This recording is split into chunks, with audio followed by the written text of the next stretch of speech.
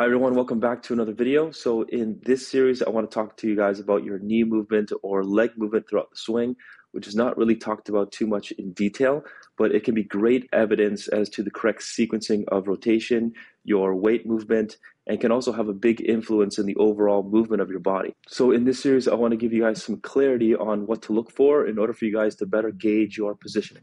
If you enjoyed the video, be sure to leave a like, and if you are visiting my channel for the first time, Please subscribe to see more golf related content.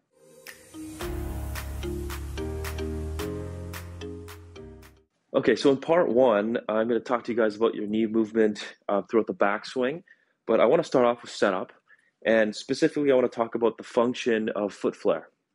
Okay, so um, when a player stands over the ball, gets in the setup position, I want to tell you guys or talk to you guys about uh, the function of whether or not you should have your toes pointed straight forward or flare them out, um, how much to do so, and, and why. Okay, so the players that uh, that come in, I see a lot um, that they have their toes pointed really, really straight. Okay, and um, the foot, the amount of foot flare can actually change how much you get your knees internally rotated or externally rotated. Okay, that, that just means that like the knees are, are turned in or more turned out. Okay, now when a player typically has their toes turned in, that gets their knees turned more inwards, like this way. Okay. And when that happens, is when they make their backswing, it actually puts a lot more pressure on the joints when they try to turn. Okay, so a great experiment that you can do is you can turn your, your toes really, really inwards and then try to turn in your backswing, and you'll feel some strain in, in the knees. Okay, now um, I, I advocate the players to have a little bit of, of flare in their feet you know, in, in the range of 20 to 30 degrees.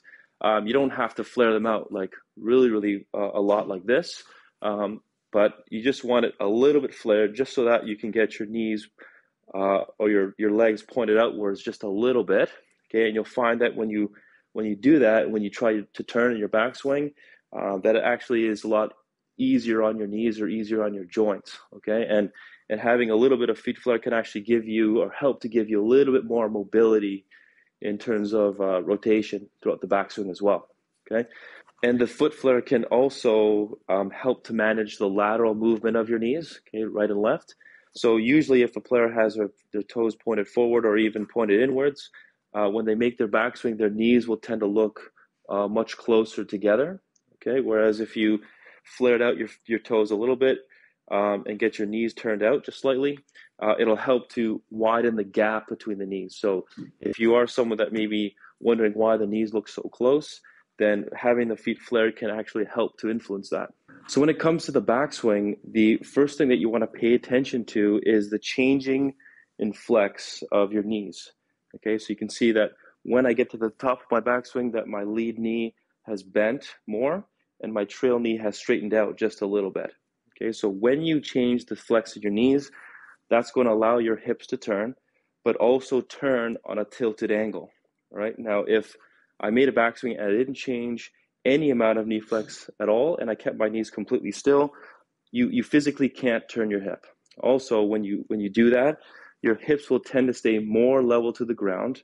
Whereas if I change the, the flex of my knees, you can see that my hips open up more, and my hips go more into tilt uh, to my lead side.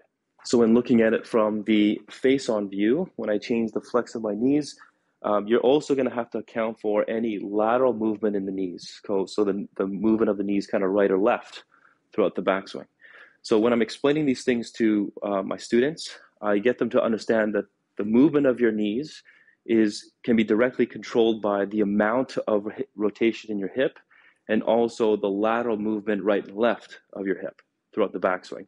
So if I were to just stand over a golf ball, if all I did was turn my hip, right, you would you would find that as you turn the hip, it's very very easy to have a lot of knee flex change. Okay, but after a certain point, once you keep turning, you'll find that the your lead knee will tend to collapse or start to collapse more and more, and your knees are going to appear much closer together.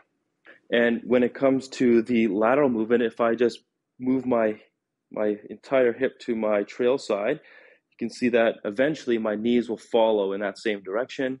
And then in the opposite direction, my hip goes more into my lead side, you'll see that again, my knees will follow in that same direction. So now I'm just going to go over three uh, mistakes that I see that are very that's very common, um, and then just one way to fix it. Okay, so the first mistake I see is just from the face-on view, and when a player makes their backswing, I, I see that their lead knee collapses um, behind the golf ball. Okay, and the first instinct for people to try and fix this is to focus solely on their lead knee and spread out their knees like this. Okay, so they're only focusing on pushing out their lead knee, but you can see that my entire pelvis or hip is positioned too far behind the golf ball. Okay, so if you're back in this position, one thing you can do is you can focus on positioning your hip more into the lead side than before. Okay, just making it go more laterally to the lead side. And you can see that when I'm doing that, when I get my hip to be positioned more into my lead side, my, my lead knee is going to follow the movement of my hip. Okay, so it's going to be uh, positioned further in front of the golf ball and won't appear as collapsed.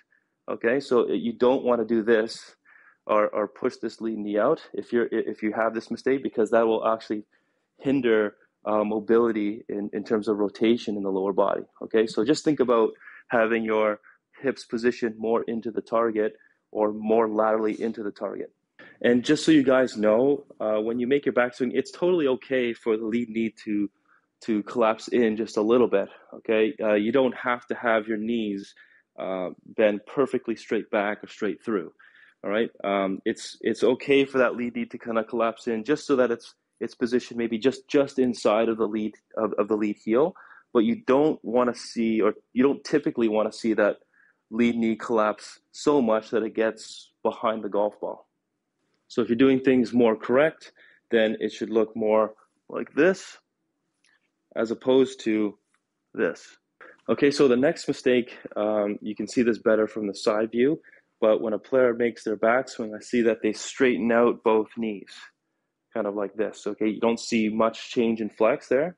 And looking at it from the face on view, if you straighten out both knees like that. It's really not good for power. But all you want to focus on, if you if you do find out you are this kind of player, is to take away flex just from your trail knee, okay, and and you want to maintain more flex or or add more flex into the lead knee, okay. So it should look more like this as opposed to this, okay. So you're just taking away um, too much flex in the lead knee if you are this kind of player.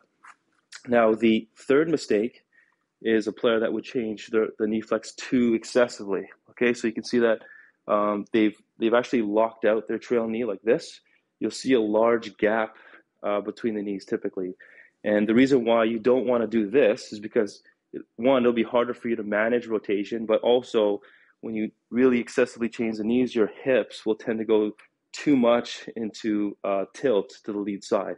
Okay, so if your hips tilt too excessively to the lead side, that can also change your posture um, of the upper body. It can actually get your upper body to lower down, okay, and that'll actually encourage people to early extend um, in the downswing. So, what I would suggest is if you are filming yourself, that when you do change the knee flex, you have to maintain some amount of flex in the trail knee. Uh, you don't want to totally lock it out, so it has to stay a little bit flexed. And you can pay attention to the amount of space between your knees. You can see um, like a little bit of a space, but you don't want to see a massive space like this. Okay, so again, it's just for this kind of player, you, you want to manage the amount um, of knee flex change in your trail knee.